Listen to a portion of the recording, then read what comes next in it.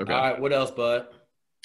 Um, I think that that is about it. I mean, just like I had a couple notes about like if I was gonna end up going back to Omaha, which is like if I yeah, and doing like scuba and shooting and stuff. But I mean, that's probably like a down the road question. So I mean, I, I if you're going to SEAL train, you got to bang out scuba, right? Okay. If you're going to, can you shoot right now? yeah, I can shoot pretty well. Okay, then then nothing to worry about. Okay. Okay, I tell you to start shooting your butt off. Get a beat. I tell everybody you can't buy bullets at this point. So buy you a. Yeah. They make an M4 BB gun, and sit in the backyard and shoot two hours a day. And just I'll have work to on check and see if Huh? yeah, I'll have to check and see if they can do that in California. They're kind of weird about that stuff out here, but definitely. Do you have a Nebraska, it's not an backyard in. California? It's like 15 feet. it's pretty tiny. I mean, that's all you need. Okay. You just need to be able, like, I could shoot in my bedroom, really. Like, I just need to shoot 10 feet. Okay. And make you make a cardboard bo- a cardboard box trap. Just take a cardboard box, fill it up with cardboard, okay, Mhm. vertically, and then shoot into that. The pel- babies and BBs and pellets ain't coming out the back of that. Okay.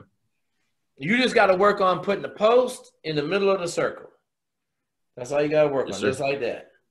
So there's a circle, and you put the post in the middle of it like that, and you shoot. Right. And then you learn sir. like if it's over here, you can't do that. If it's and then pretty soon you just you're able to see the sight picture, and then the BBs and the pellets start going where you want them to. Okay. So it's an M4 177 Crosman pellet gun, I believe. I think I'm pretty sure because someone asked me that question now, they were killing me about it, and I just googled um, M4 dash 177. Yep, Crosman sorry. pellet gun, perfect. Okay. All right, what else you got, Mr. Miller? Uh, I think that's it for now. I uh, I'll just I'll get on that and I'll uh, call you next like next weekend basically and update you and hopefully I'll have good news for you. Are you running long run on Saturday? Yeah. Well, so yesterday I couldn't, so I was planning on doing it today, but um, don't do that. Okay.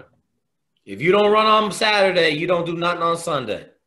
Okay. Because if you do long run on Sunday, then you mess up the whole week. Right. So you're better off just skipping a weekend than you are going to do it. Okay. Or you Uh, could have did it Friday night, right? Like you do your speed run in the morning, you could have banged out a long run Friday night and just ate it. Okay. But yeah, you can't. Like I tell everybody, like don't don't move nothing to Sunday because it messes up your whole week for training. Okay.